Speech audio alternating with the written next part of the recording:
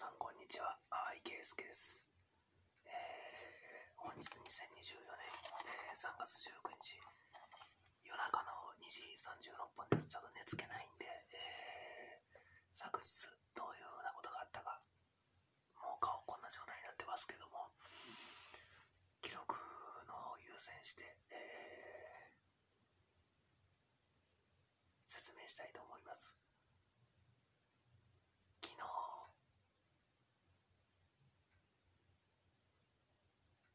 まあ、ずっとほとんど遊んでない状態で、晩ご飯を買いに行った時にチョコパイを買ったんですよ。で、帰ってきて食べてから、その15分後ぐらいに、男性3名、全員黒ずくめ、こっちに向かって1名が死ねって言ってきたんですよ。で、そいつら何回もそういうことをしている。で、その動画を撮影して、画像解析を頼んだものが、ホームページハワイケースケの利益の1番からもわかると思うんですけども、2369有馬警察署への通報、まあ、あとはもう、省いておきますね。で、その後、報道ステーションを見ていたときに、子さま通られました。22時30分、や違う、えー22時40分か50分頃、隣は男性老人と、後ろからの後頭部しか見えなかったんですけども、髪の毛の長さは佳子さまと同じでした。で、これ物事すべて整合性が合うなっていうのが分かってきたのが、子供の頃に佳子さまが初恋の人が僕だった。それをコンピューターが覚えた。世界上層部の人たちと会った。未来の時間軸からとエネルギーの残存量問題があった。台風消滅の件もあった。すでにそれは1998年に結果を出しています。台風消滅の件は。数を極端に減らしてます。台風発生の数を世界的に。で、僕は佳子さまから多分チョコレートもらったことないでしょう。で、もう全然僕、女性からちゃんとした告白でチョコレートもらったことないんですよ、バレンタインデーに。で、コンピューターが電波で人を動かしたり、神がかり的な力を使用して動かしてる人間が同じパターンにはまり込んでる、これもあると思います。何が言いたいかって言ったら、誰も制御ができない世界が出来上がってしまってるっていうことなんですよ。警察官の方にも覚えていただきたいのが。で、佳子さまは、2014年の頃に20歳でしたよね。で、えー、警察官の方は、ホームページハワイケースケの利益の90番、皇室へのメッセージ。そちらで、未来からの時間軸からの声掛け、佳子さま編っていうところを見ていただいたらわかると思うんですけど、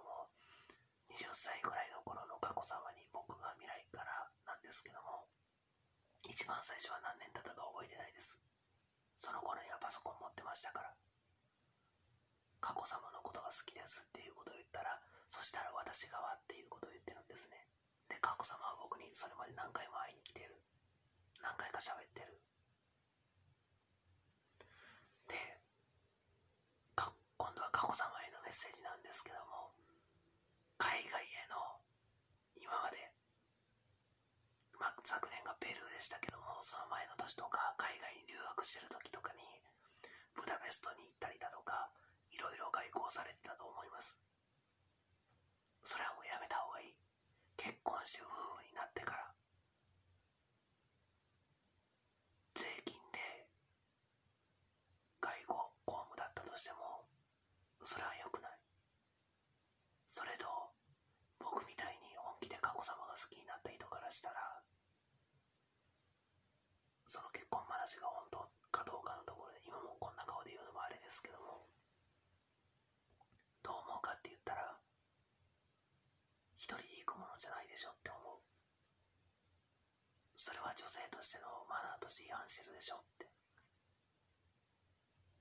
で、これを言われたら、そういう行動をしてしまった人はどういうかって言ったらそれだったら日本の他の場所でも同じだっていうことを言うんですよ。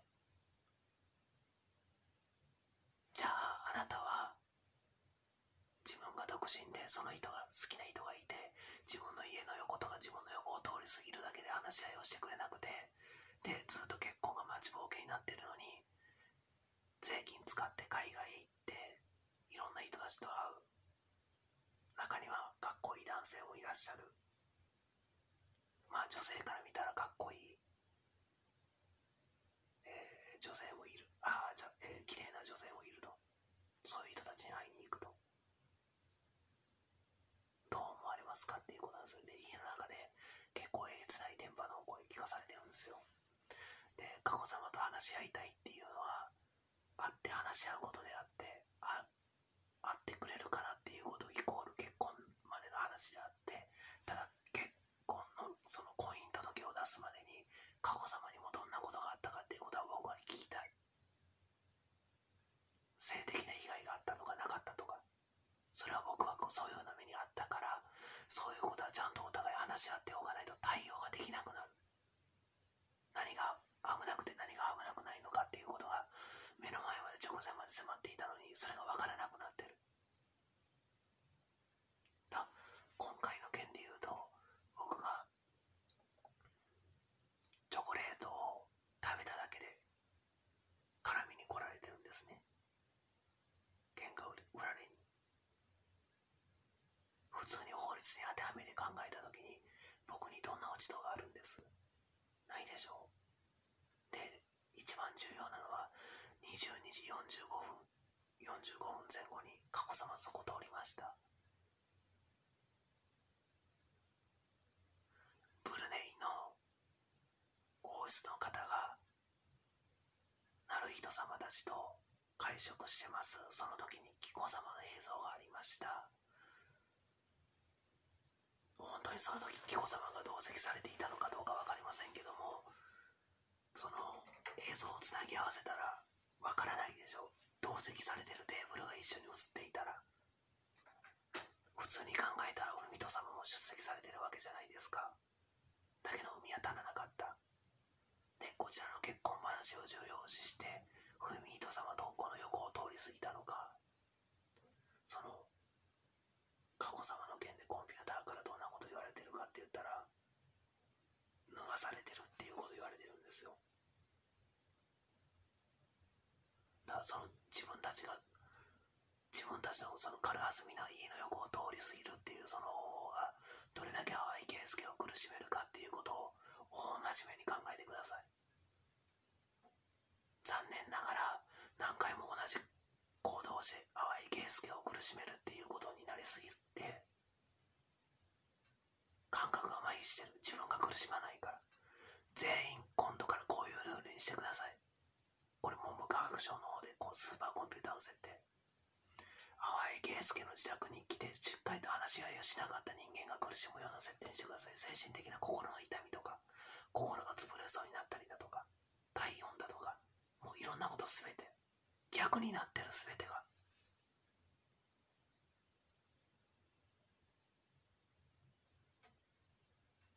そういうルールにしていけば一人一人多分話し合って解決できてる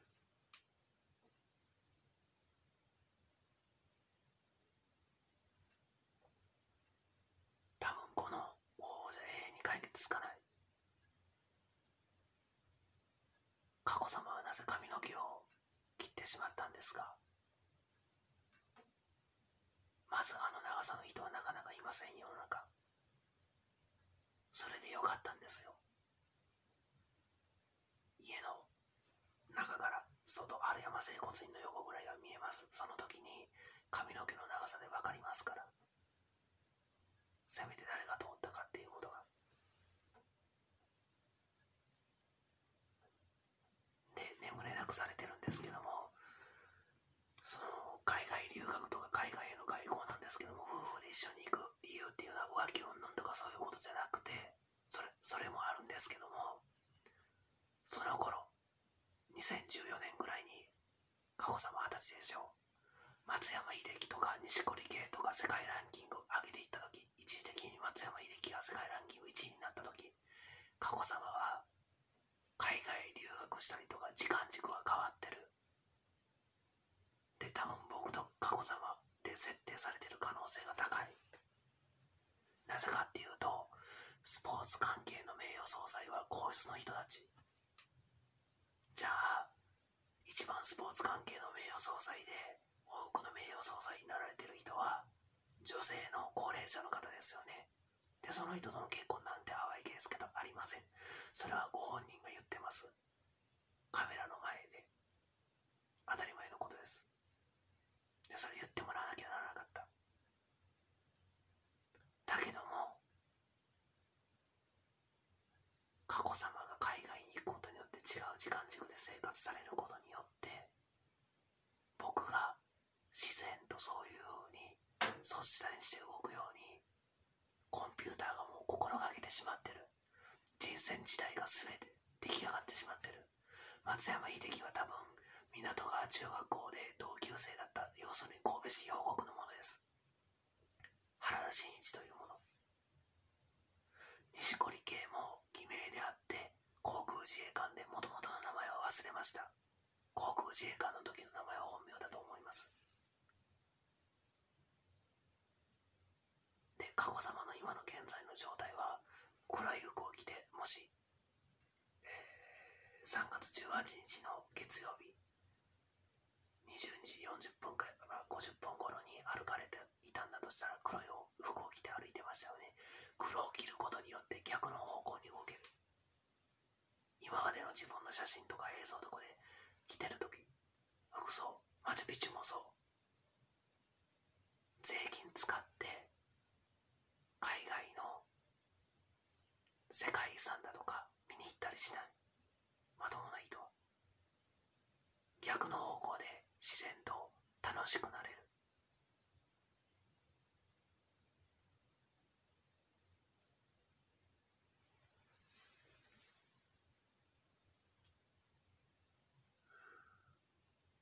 こういうことを黒い服だけは着ないでくださいねって言ってる約束とかを守ってくれてない。なのに今それを言おうとしたらもう右目がやられ始めてる。ギョロ目の方。そういう風に変えられそうに一緒になってる。違う方向片っぽの目が向くような。コンピューターに皇室の人たちが守られすぎてます。それとけじめっていうものをしっかりとお持ちになられてない。淡井圭介にちゃんと。結婚する気があるのかないのかはっきり言いに来ること。それが佳子さまとしてのしなきゃならないことです。それと河川水門下営式ダム発電地下水流トンネル発電の件に関してもそう。鎌田発電の件に関してもそう。できることなのかできないことなのか自分たち。にそれをまず説明すること。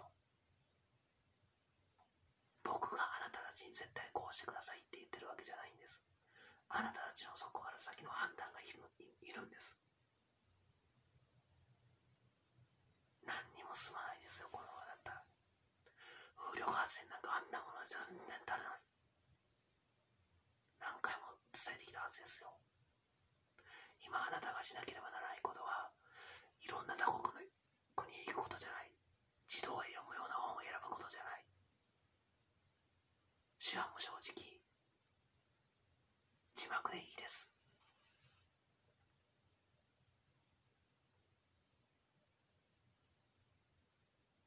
今一番必要なことを残念ながら皇室の方たちが、うん、全員じゃないですけども佳子さまはされてないんで先に会いに来られた独身の女性の皇室の方2名いらっしゃいますよね。その人たちも同じように横通り過ぎていったんじゃないですか。まこちゃんは小室圭君も僕に会いに来て2人で結婚するっていうことを小室圭君も言ってた僕に。潔い正々堂々としてる。まこちゃんもそうそのそうだと思うっていうことを言ってました2人とも意見ちゃんと僕に言ってる会って天皇陛下はちゃんと会って話することって言ってるんですよまあしっかり会って話することっていう意味なんですけども横を通り過ぎるはそれは青じゃないすれ違い黒い服を着てできるただ同じような髪の長さの女性も世の中たくさんいるので行動部だけじゃ絶対判断できないだからそこにつけ込んでいる自分が佳子さま自身が僕の家だけここに来ていいのは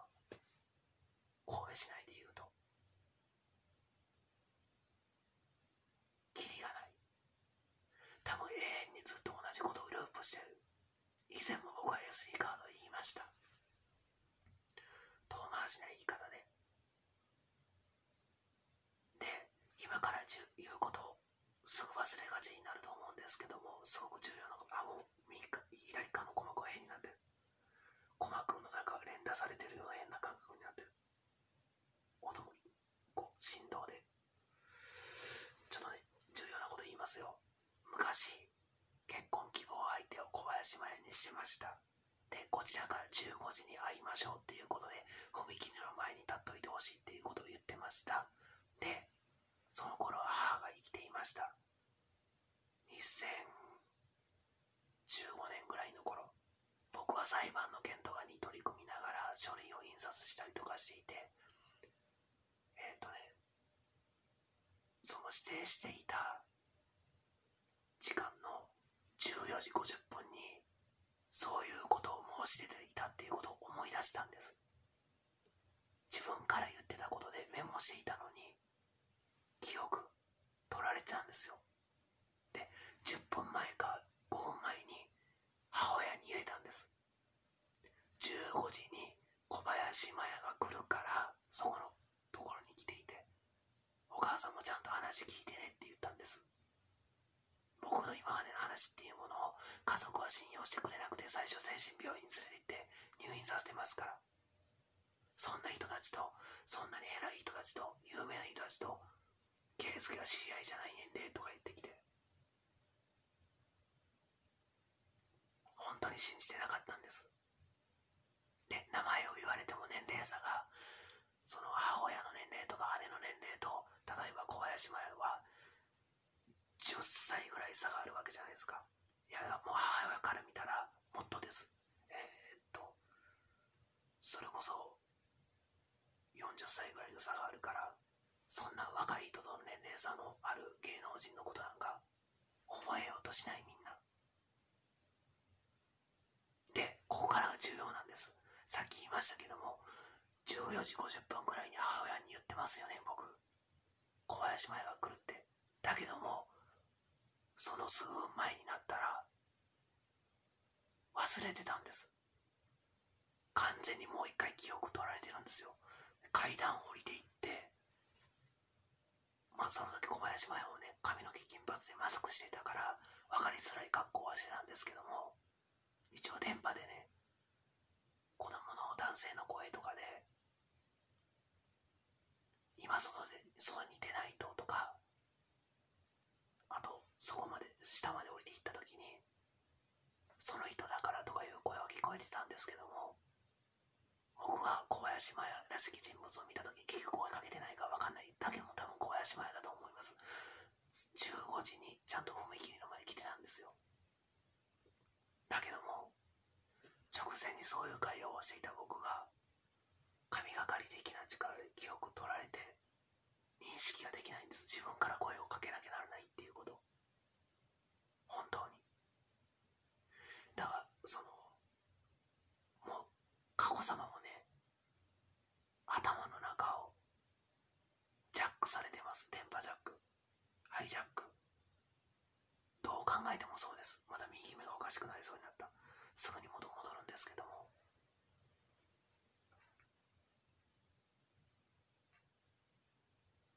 平気でおかしな行動をずっと繰り返してる。それをしたところで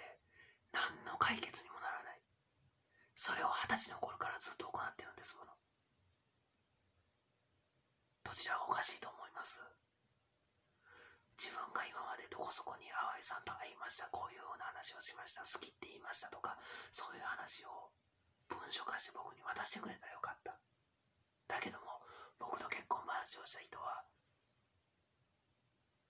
有名人の人間で全員それをしたことがない。一般人も同じ。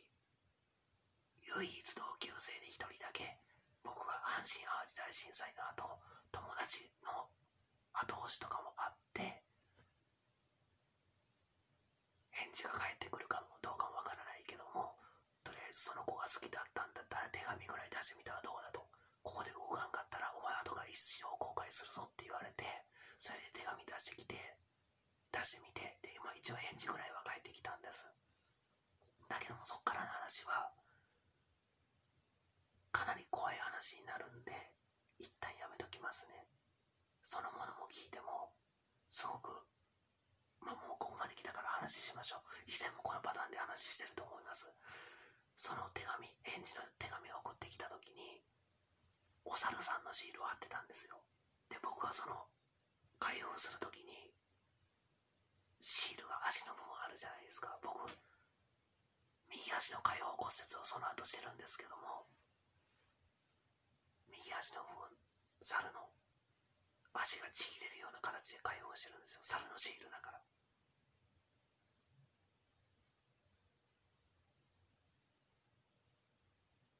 でその子は、えー、阪神・淡路大震災の後高校を卒業した後東京の方のリクルート社に本社勤めで仕事をしていてでお盆ぐらいの頃に帰ってきて一度僕とデートしてるんですよ。だけどもその時に黒い服着てきてるんですよ。黒色のワンピース。そこからその警察官の人たちとかにねどういうふうなことがあったかっていうのを全て話した時にもっと子供の頃からの話。同級生の男性にこう言われていたとかああ言われていたとかもちろんオートバイを乗ってた僕に一番責任あるとは思いますよ。だけどもその結婚話芸能人のいろんな人間のその話を聞いて髪の毛染めてるその当時 GTO っていう車に乗ってた人間に喧嘩売るようなこと言われてスピード競争するような形でフルーツウラーパークの帰りしに僕交通事故起こしてるんですよ。でテレビではドラマでグレートティーチャーに使ってあれ GTO って言うんですよ。題名。もう全部昔から自分僕を中心にしてありとあらゆる業界が動いていてワンピースの件に関してももう彼のそのむちゃくちゃな話もうこんな若いうちからそんなにひどい目合わせたらあかんわこんなに真面目なものをっていうことを言うことで漫画「ワンピースって始まってるんですよ。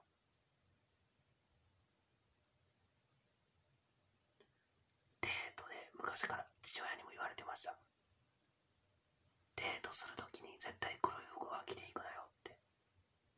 それもう服だからってもう世間に通ってしまってるからそれを今更どうこうなかなか覆すことできないからって気をつけとけよって。普通に考えたら分かることが分かんなくなってる状態のその時がその人がもう普通じゃなくなってる時。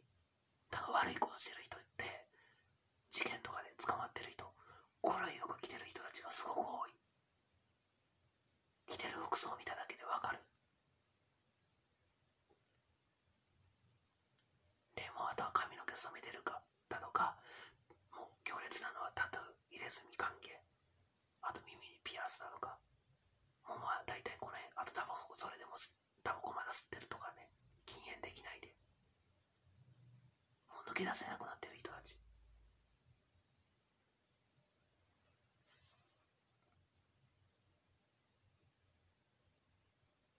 でその本当はそのまあそのリクルート社に勤めていたものなんですけどもその松山英樹本名は原田真一だと思うんですけども中学生の頃その2人が付き合ってたんですよで僕はその前そのリクルート社に勤めてたものと性的な関係は一切ありませんキスもないですまあ夜のハーバーランドでまあいろいろ話をしてだ告白ちゃんとした告白もできなかったみたいな状態ですね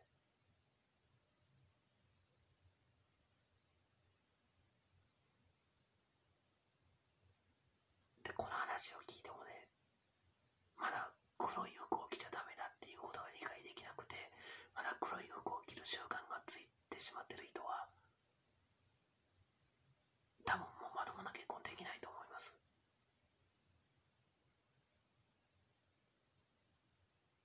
髪の毛染めてる人たちが増えて髪の毛染めてることが普通だと思ってる人たちと同じレベルになってしまうそれだけでも社会は崩壊してしまってるんですそれが自分で認めることができない弱い人間なんですよその人たちは僕はそれが分かったから黒いロングコートを洋服の春山に無料でいいですから引き取ってくださいとそこで購入したものじゃないんですけどももう家にも置いておきたくないって思ってああこんなに悪いもの着てちゃダメだって昔から漫画とかでもそう黒着てる人は悪者役。じゃあ悪者役の黒着たからといって本当に悪いことしていたら裁判官どうなります？法律名を求めて大難情か何かを求めて簡単に棄却してしまう。全ての仕組みはもう出来上がってるんですよ。世の中は改善できない仕組みが。それを変えていかなきゃならないから黒い服ぐらい捨ててください。もしくは封印してください。まあこれだけ言っておいてその10時40分から50分にかけて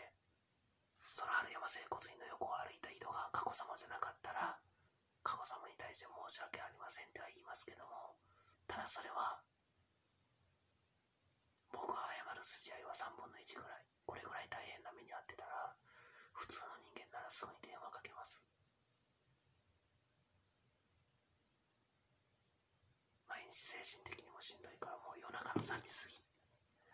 もうこれが何の呪いかわからない。小林前を呼び出した時のその時刻の言い間違い。ついつい15時のことを3時って言ってしまうでしょう。全部僕が被害者であったっていうルールに直した方がいいそういう本当のことを言って小林麻也はやっと髪の毛を染めなくなったのが2021年ぐらいなんでしょう。動画のつなぎ合わせみたいですけどもそれを淡井圭介に結婚話しに来た人たちのところからアクセスできるようにしておきました最後の方に顔直ってますけども結局僕の顔使ってるんですよ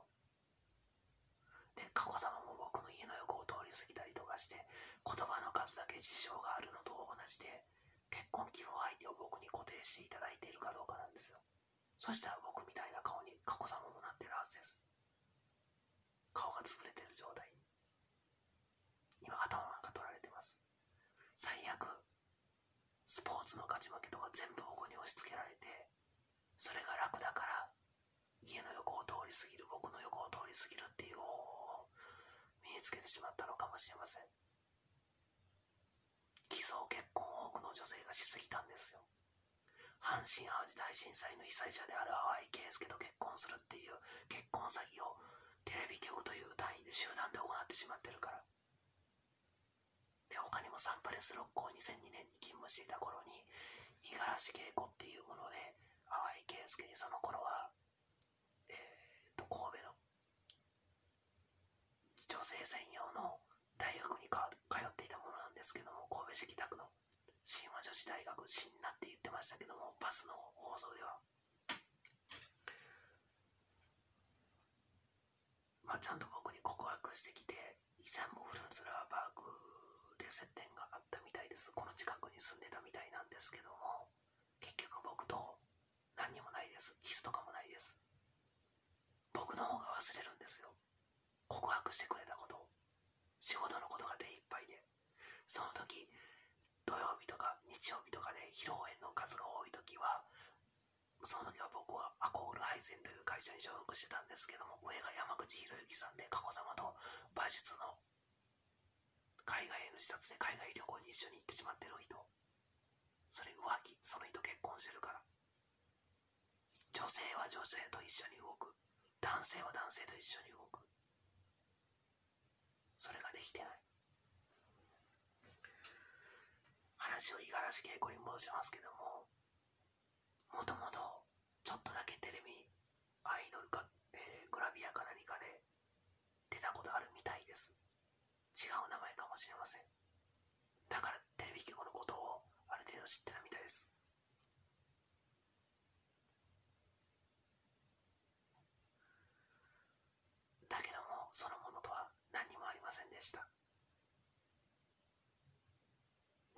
そのものはどうしたかって言ったら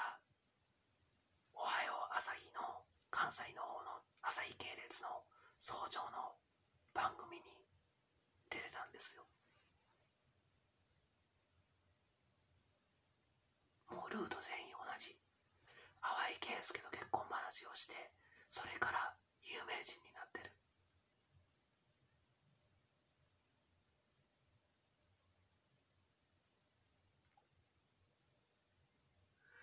警察官の方もこれ聞いてだいぶいろんなことが多すぎてこんなにたくさん言われてもっていう部分があるかもしれませんけども一つ一つ整理整頓していきましょう。全員自分たちがどういうふうなことを話してきたかっていうことが一点とあと自分がどういうふうに行動してきたか。この要素が一番大きいです。で僕はその世界から味方が少なすぎて味方らしい味方がいないんですよ。プライベートの時間帯になんか言いたいことあったら相談したいことあったら電話かけてって言ってくれる人間が一人もいません。プライベートの時間帯に同性で会って気軽に電話かけれる人間が26歳ぐらいの頃から一人もいないんです。これが僕の置かれてる状況下で何もかも自分でしなきゃならなくなった。なのにこんなに毎日絡んでくる人間がいる。パイの実というチョコレートのお菓子を正直もう今日ね歩いてみて。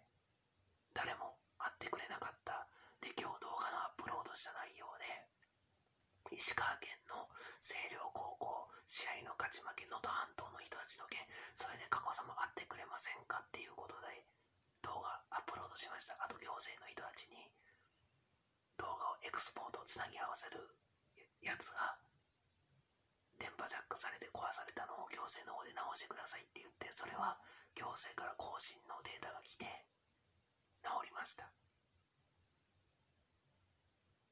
その内容を今日家帰ってありがとうございますっていう内容を佳子さまへのその会ってほしいっていう内容と一緒にアップロードしてるんですよ。だから22時40分から50分から歩きませんでした。老人男性と正直に言います。おみと様にも見えなかった。後ろ姿は。でただそれぐらいのここぐらいまでの髪の長さの女性なんかいっぱいいます。昔の髪の毛を伸ばしてくれてる状態が一番善意的であった。良い状態であった。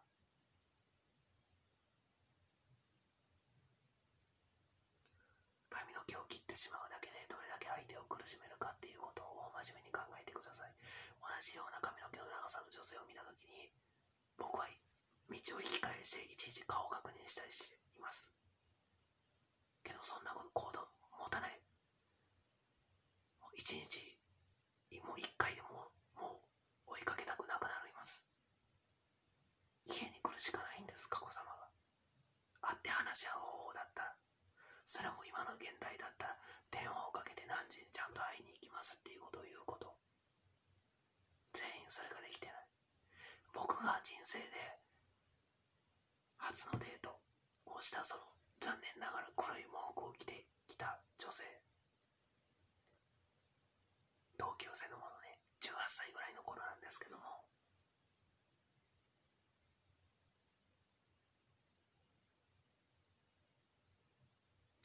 そのものとは電話でちゃんと連絡してるんですよ。だから予定が組めて会ってるんですよ。仕事でも同じ急に会いに行ったって。向こうは向こうの仕事の段取りがあるから急に来られたって困りますになります。っていうことは僕と結婚を本気で考えてくれてた人は一人もいないっていう話になるんです。この話を言われてそのコンピューターの電波で支配されてる世界でねそれで自分が責められて自分が眠れなくなったりしたら困るからということでいや私は電話番号を渡しただとか私は電話をかけたとか急に途中で電話誰かに代わっておきながらですよ。そういう話で逃げてもう全員やっぱりコンピューターでの統治って人減らしが目的だったんだと思いますよ。結局のところ。助かる話じゃなかったんですよ。で海人様も佳子様に本当は自分たちの方から電話しなきゃならないからっていうことをおっしゃってました。で佳子さまもそれを聞いてます。返事してました。だけども僕に電話かけてないでしょう。繋がらない云々とかは僕は精神病院に入れられて電話が繋がってなかっただけだと思います。会いに来たでしょ？一回宝塚さんの病院に。それは二人っきりで話しなきゃならない。あんなに怖いところで来ても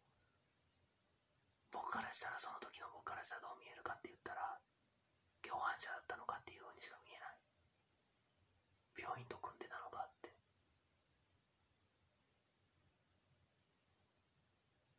スポーツ業界からのお金の支払いとか誰が弁護士をつけて本当に一番してあげなきゃならないかって言ったら皇室の人。皇室っていう単位です。いろんなスポーツの名誉総裁にいろんな人たちがなってますから。で天皇陛下も秋の天皇賞とか見に行ったりされてますから。春の天皇賞もあるんじゃないですか。昔遡ったら。でもちろんそれは佳子さまのせいじゃないんですけども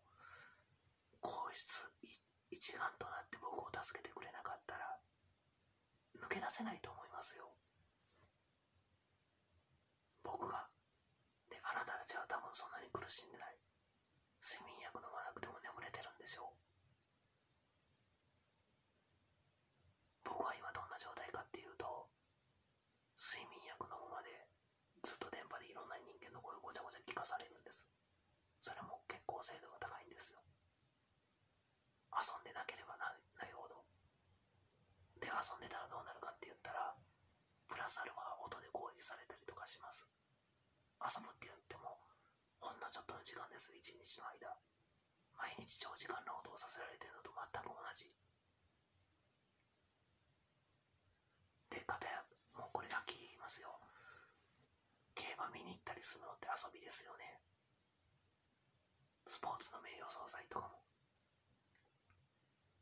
で自分とかの顔を消費しないで綺麗な顔のまま楽しんでますよね。で僕は自分の身を差し出して頭の中とか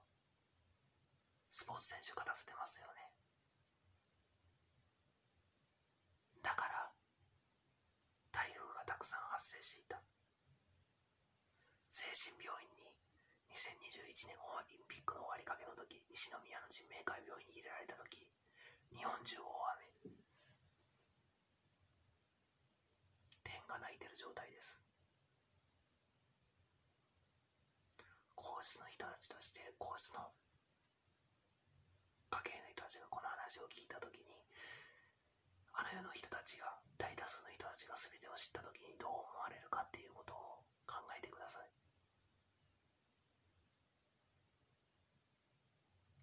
ここまで話してそれ私の家を訪ねていただけないんだったらもう私としても手段ありません。だって私が会ってほしいって言ってそれは横を通り過ぎただけだから会うというカウントにはならないずっと僕は今までしてきた功績を認めてないコンピューターは認めていないっていう判断をしてるんですあなたたちがちゃんと家に来てくれたらそういう判断にならなかった自分たちが言葉に出して言ってくれたそれが一般的なルールであって一般的な世界のそのあってねその会社で働くにしても契約書という書類を交わして履歴書を出してどういう人なのか写真とかも貼ってどんなところで働いてきただとかそれでその人の全てが分かるわけじゃないですけども最低限それぐらいはしましょうってだからもう最低限のルールが残念ながら皇室の人たちになくなってしまってるんですもう次回で攻撃されてますからさっきから少しでも皇室の人たちのことを非難するようなことを言ったら僕も攻撃されてるんです耳鳴り次回なったりならなくなったりするからこれねこの辺からこういう角度でこっちの方が聞こえてきてこっちは全然聞こえないんですけども本当は脳へ電波で攻撃されているのが次回なんですよで耳鳴りを起こしてるような感覚を起こさせるでこれは放送や電波等にもそういう機能は備わってます。他のコンピューターからそういう風な電波を飛ばせるから仕組みが分かってるからスマートフォンも同じ。スマートフォンの場合はひっくり返したりこうすることによって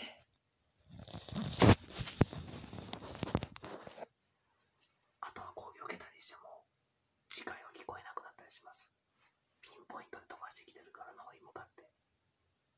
接点を映らせるんですテレビにも備わってます。パソコンにも備わってます。資源の無駄遣い。この国を良くする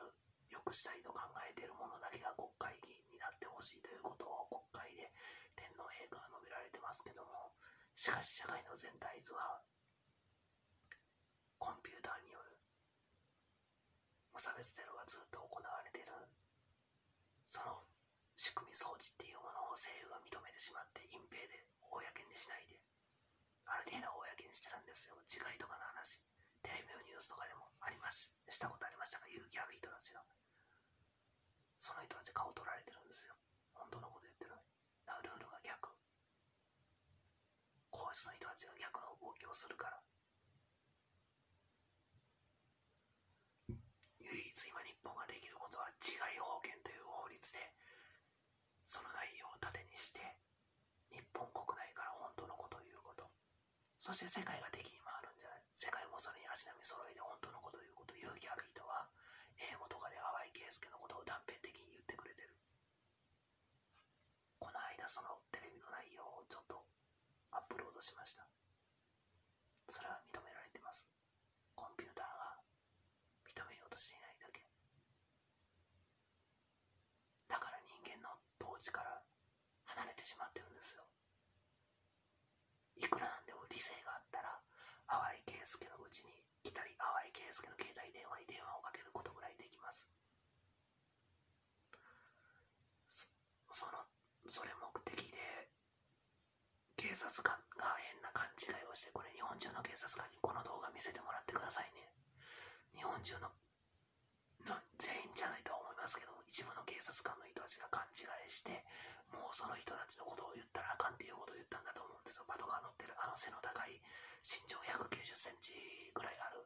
眼鏡をかけた西宮市の警察官の人じゃないですか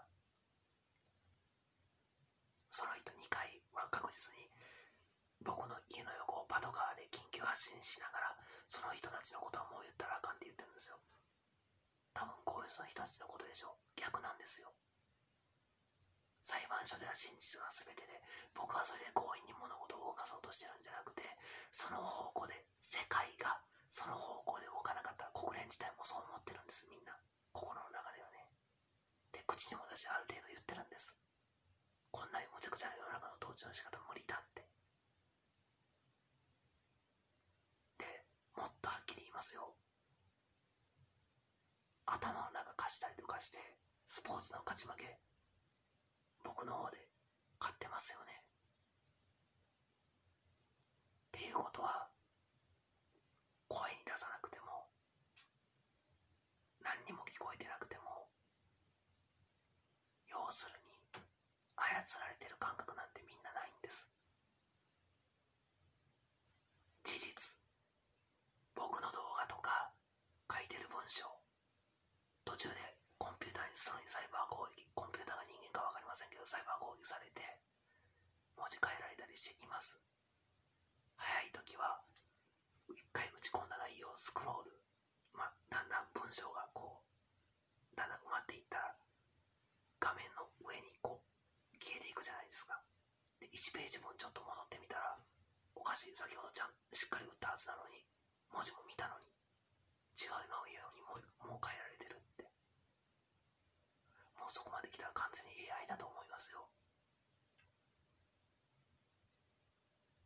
いや裁判所ここで裁判所が閉まるとかいう元国会議員かのもともとは会社の役員したい人だと思うんですけどその人のすぐに投げ出してしまう言葉が聞こえてきたんですけどもその人はだいぶ前の人。その後沖縄県知事のデニー玉木っていう人になってたと思いますよ。これで裁判所も閉まるとか言ってるんですけども閉まりません。裁判そういうこと知ってますかパソコンとか電子機器のことをあれっていう人は言います。裁判所で働いてる人で、そこまで知識がある人とない人があることが僕には分かります。ただこの間、昨年、神戸地裁の民事部に書類を持って行った時に、電波で直接 Wi-Fi をつないでない電子機器までハッキングできるっていうことを教えてあげました。なぜなら僕がその場でコピー機をハッキングされてコピーする部数までコンピューターに身勝手に決められたんです。3部って。法律上相手側にも訴状がいる。裁判所にも訴状がいる。自分にも手元に戻して持っておかなきゃなんない。コンピューターの知ることは正しいんですよ。正しいんですけどもそこは1枚20円するんです。で少し離れたところに1枚5円でコピーできるんです。何百枚もコピーしようと思ったら一部だけでいいんです。その1枚5円のところに持って行ってコピーするから。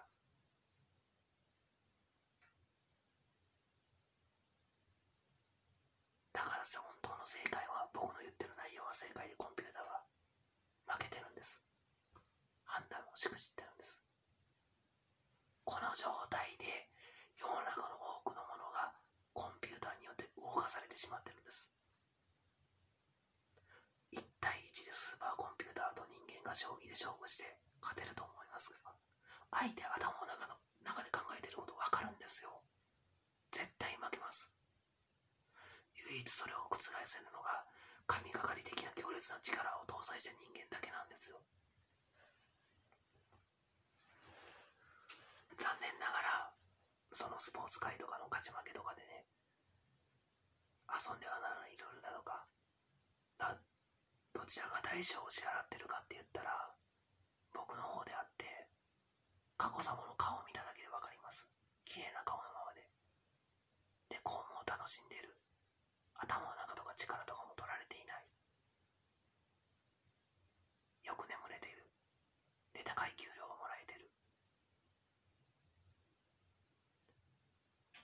ただそれは強いんじゃなくて社会的地位でそうなってるだけで本人の強さにはつながらないです。だからそれがね遊んではならないルールの中で仕事の内容が遊んでる内容であったとしてもお給料をもらうことによってお金を報酬をもらうことによって遊んでいないっていうことにできてしまうんです。だからエロ業界が滅びなかったっていうことになるんですよ。昔のデータでね。覆せるのはそのエロ業界とかを裁判所で例えばレンタルビデオショップにアダルトコーナーを置いてはならないとかいうそういう判決の書類そういったものを僕のパソコンで公開すること多くの人が閲覧することそうすることによってエロ業界は潰れる。そいつらが胸を大きくなってたりすること時点でおかしいから